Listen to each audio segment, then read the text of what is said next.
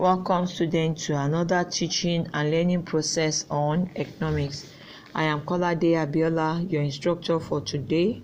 You'll be listening to teaching on public finance. At the end of the lesson, the student will be able to one define public finance and state the objectives of public finance. Two, mention and explain branches of public finance. 3. List methods of government intervention in the economy. 4. Define fiscal policy and state the objectives of fiscal policy. 5. Mention types of fiscal policy and its instruments. 6. Define monetary policy. Mention its instrument and its type. Meaning of public finance. It deals with the financial activities of the government concerning revenue, expenditure, and debt operation and their effects on the economy. Objectives of public finance 1 efficient allocation of resources. It ensures that resources are effectively and efficiently allocated among public and private sector. 2.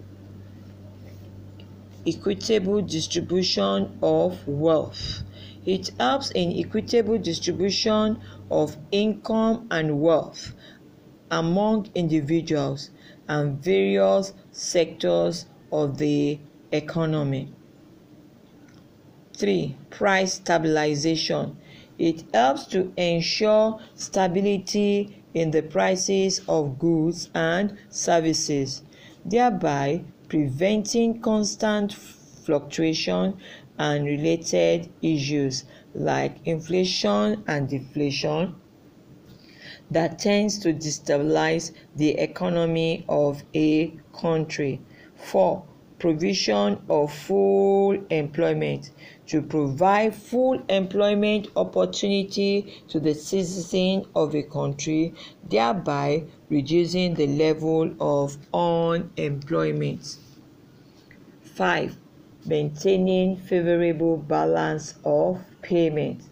Tariffs and other fiscal policies are used in maintaining favorable balance of payments. Branches of public finance 1. Public revenue 2.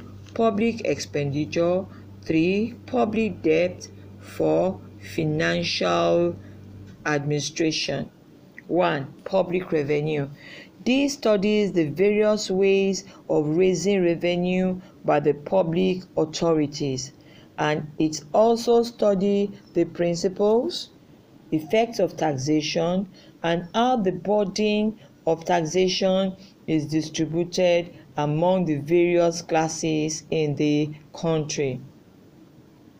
2. Public expenditure. This studies how money is spent by the government classification of public expenditure, effects of expenditure in different areas, and effects of the expenditure on various factors such as employment, production, and growth. Public debt is a study of the various principles and methods of raising debt and their economic effect. It also deals with the method of repayment and management of public debt. 4. Financial administration. This study deals with the administration of all public finance, that is, public revenue, expenditure, and public debt. It includes preparation, passing and implementation of government budget and various government policy. Welcome back from that short break. We shall continue our discussion on public finance. We want to discuss methods of government intervention in the economy. The government of a country can intervene in the economy through the following methods fiscal policy, 2. monetary policy, 3. direct control. Our discussion shall only emphasize fiscal policy and monetary policy. Fiscal policy is the use of government spending and tax rates to monitor, influence, and regulate the economic performance. The main goal of fiscal policy is to achieve and maintain full employment, reach a high rate of economic growth, and to control inflation.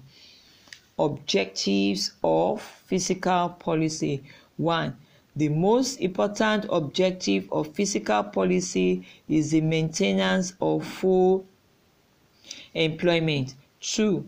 Income redistribution. It is useful tool for the distribution of income and wealth through the use of taxation. 3. Price stability. 4. Accelerating the rate of economic development. 5 optimum allocation of resources. 6. Capital formation and growth.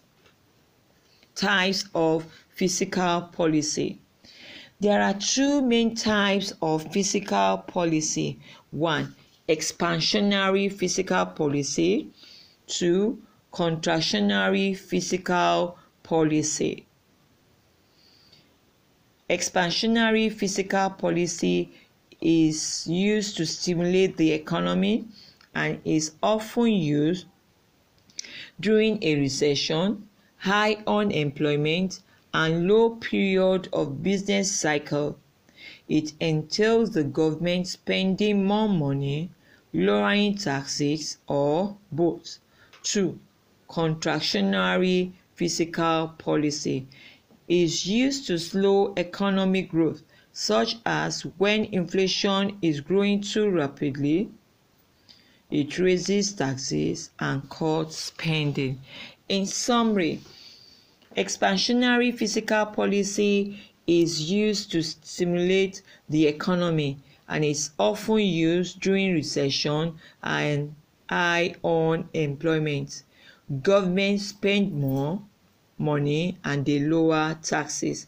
While in contractionary fiscal policy is used to slow economic growth when inflation is growing rapidly government raises taxes and cuts spending.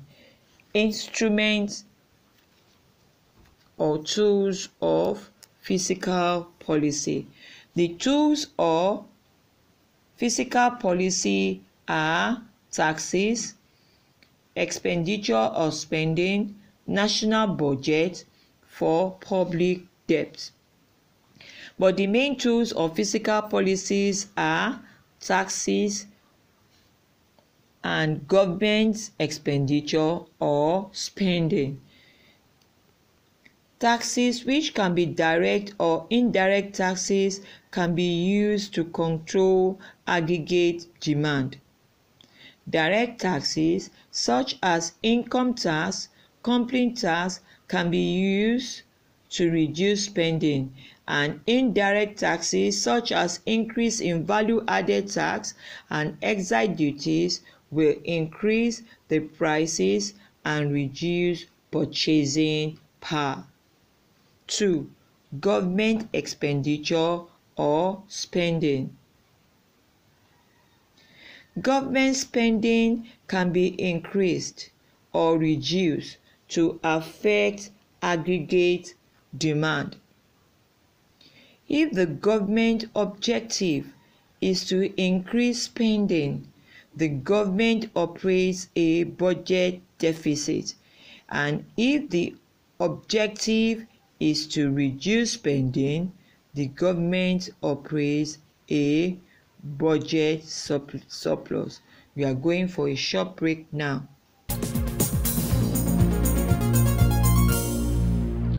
Welcome back from that short break. We shall continue our discussion on methods of government intervention in the economy. Before the break, we have discussed fiscal policy. We have looked at the meaning, the objectives, the instrument, and types of fiscal policy. So, we want to look at the second one, which is the monetary policy. Monetary policy is an economic policy that manages the size and growth rate of the money supply in an economy. It is a powerful tool to regulate inflation and unemployment. It increases liquidity to create economic growth and reduce liquidity to prevent inflation. The central bank is responsible for formulating these policies. These policies are implemented through different tools. One, cash ratio. Whenever the central bank desires to increase money supply, the cash ratio is reduced. On the other hand, whenever it is desired to reduce money supply, cash ratio is raised. 2. Special deposits. Whenever it is desired to increase money supply, the special deposits of the commercial banks are reduced. On the other hand, whenever it is desired to reduce money supply, the central bank orders an increase in the commercial bank special deposit. 3.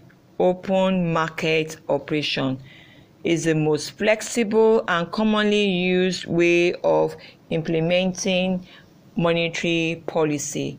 It revolves around the buying and selling of government securities on the open market. 4. Reserve requirement, which is the amount of cash all commercial bank must have on hand as a reserve.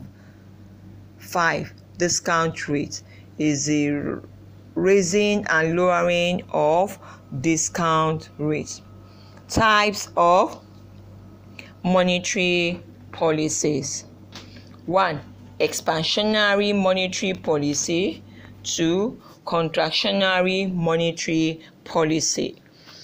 Expansionary monetary policy this is a monetary policy that aims to increase the money supply in the economy by decreasing interest rates, purchasing government securities by central bank, and lowering reserve requirement for banks.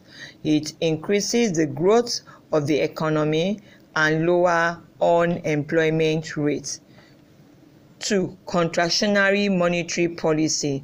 The goal of contractionary monetary policy is to reduce inflation and money supply.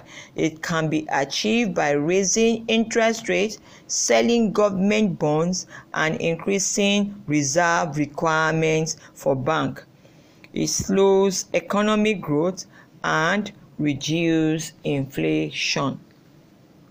In summary, expansionary monetary policy is aimed to increase money supply in economy by decreasing interest rates and lowering reserve requirements.